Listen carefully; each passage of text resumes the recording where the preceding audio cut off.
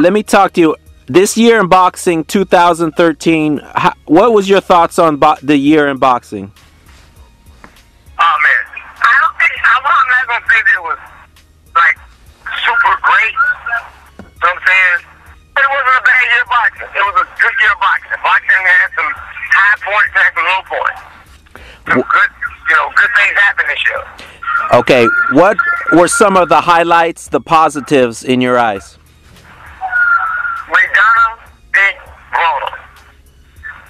Okay. High point. Okay. Why? Low point. Broner puts out a sex. Okay. Now, I don't dislike the kid. I just think that he has to be more, you know, has, has to understand that, dude, somebody's child takes a lot of you. We got to do better as a few. okay.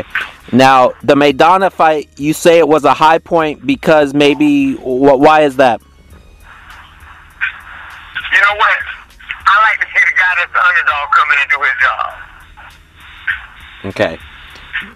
Did it? I love it. Okay. Who uh who do you think is the fighter of the year this year? If you think long about it, long and hard, who's the fighter of the year this year?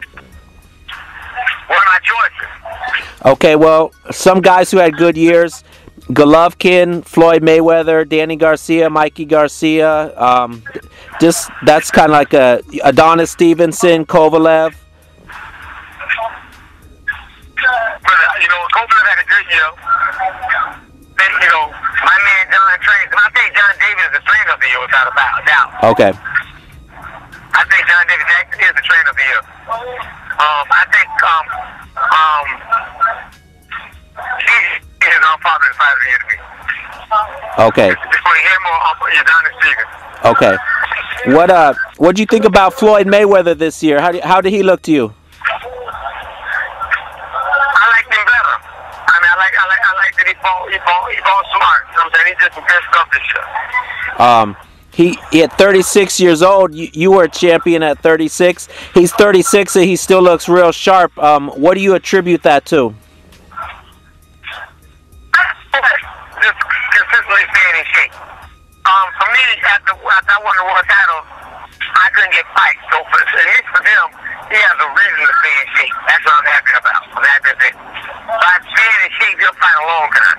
Got you. What do you think about the whole network promotional war, Golden Boy not working with Top Rank, and how, how that affects the sport? It's, it, you know what? It is, it, is, it, is, it is the worst thing that could have ever happened to boxing. And as long as networks allow it, boxing will suffer. And I'm going to tell you something. We ain't getting the best fights that you get because of it. Okay.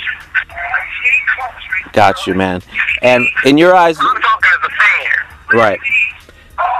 Are you are you the type of fighter? You know, um, are you always going to be watching boxing as a fan? You